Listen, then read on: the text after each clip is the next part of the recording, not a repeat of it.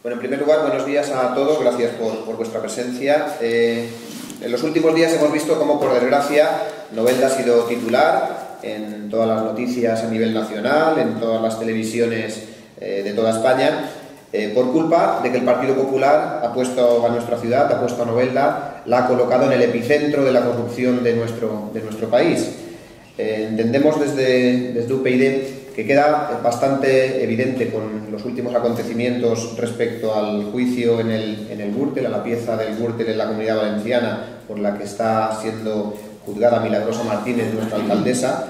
eh, que se acaba de aplazar este, este juicio hasta después de las elecciones. Entendemos desde, desde UPyD, valorando este hecho, que queda evidenciado que la justicia en nuestro país es lenta y que no es suficientemente independiente.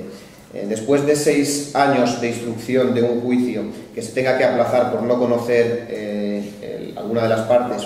eh, parte de la documentación, nos parece bastante, bastante triste y lo que hace ver es que la justicia pues, no tiene los suficientes medios ni funciona como se merece un Estado democrático y moderno. desde nuestro punto de vista, sí que queremos hacer constar una cosa, y es que aunque el juicio se aplace y tarde tantísimos años en celebrarse, las responsabilidades políticas del Gürtel y de toda la corrupción que hemos padecido y que ha arruinado esta comunidad valenciana especialmente, sí se pueden sentenciar el día 24 de mayo. Seremos todos los ciudadanos de Novelda los que podremos sentenciar y opinar sobre eh, estas políticas corruptas que han arruinado nuestra comunidad y que por tanto también estamos padeciendo los ciudadanos de Novelda.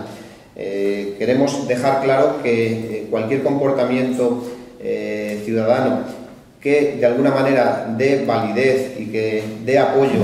a partidos como el Partido Popular o el Partido Socialista lastrados por graves casos de corrupción, pues son conductas que de alguna manera se pueden entender como de apoyo hacia, hacia temas de corrupción y hacia partidos que no han sido en ningún momento suficientemente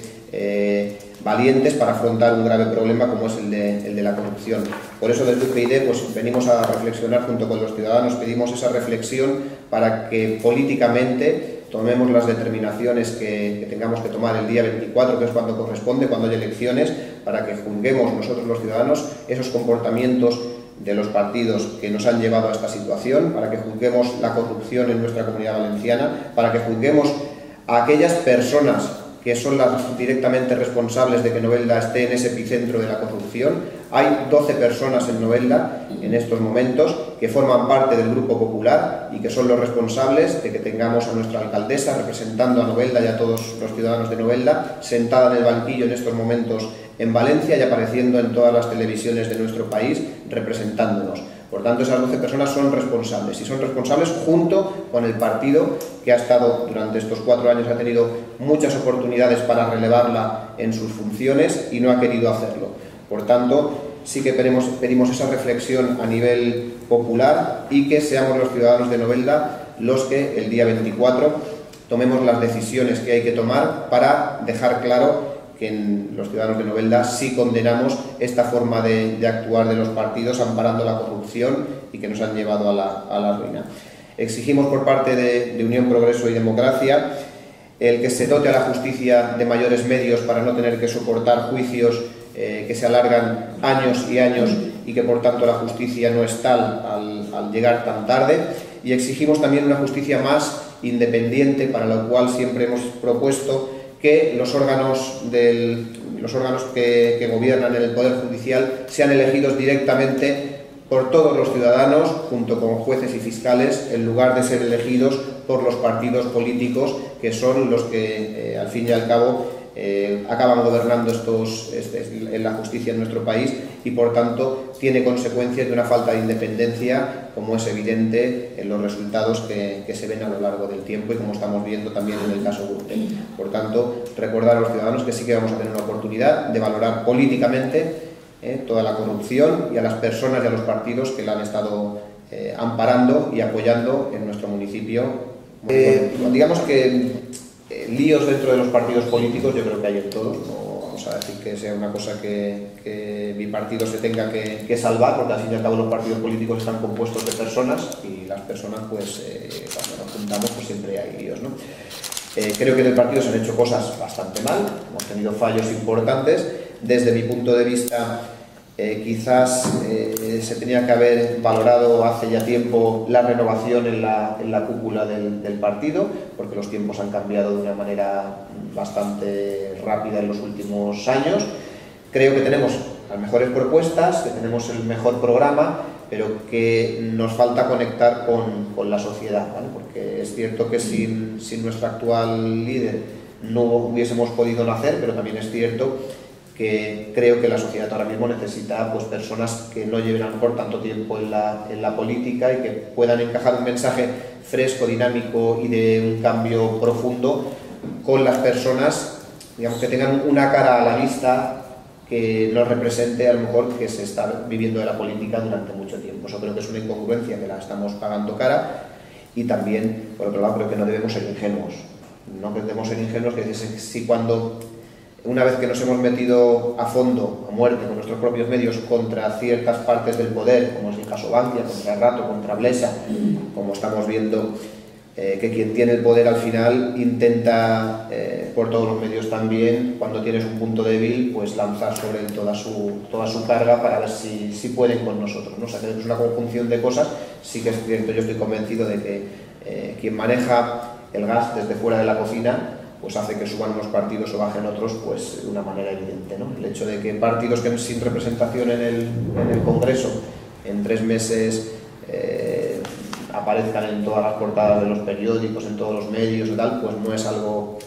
eh, ni gratuito, porque eso luego tendrá sus, sus compensaciones, ni que no esté orquestado. Eso evidentemente viene empujado desde, desde fuera. Y el hecho de que, se, de que nuestros problemas internos, que lo son, como en el resto de los partidos, sean lo único que saquen los medios y no nuestras propuestas políticas,